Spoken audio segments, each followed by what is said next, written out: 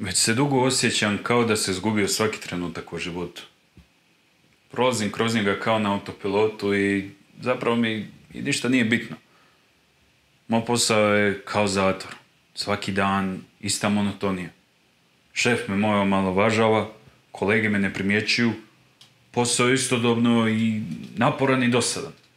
Samo živim za trenutak kada mi završi smjena i onda odem doma u još gore sivilo.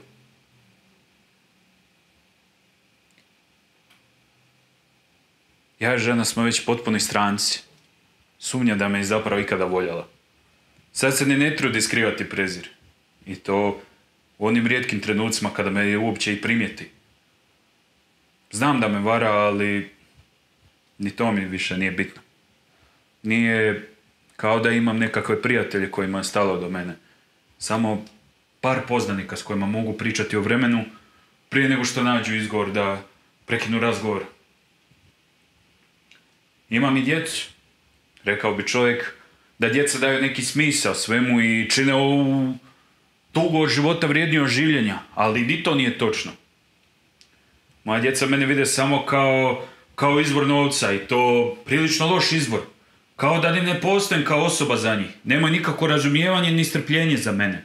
Ismijavaju sve što mi nešto znači. Ne znam kad smo zadnji put pričali o bilo čemu bitnome. Nije kao da nisam probao uspostaviti komunikaciju s njima, ali mislim da je mojoj čeri samo stalo do toga kako vide njeni dečki i prijatelji. Nema nikakve interese osim šminke i alkohola.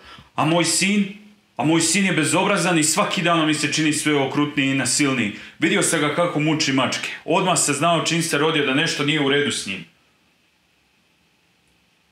I to ti je ta moja obitelj. Sve bih ih ostao da mogu.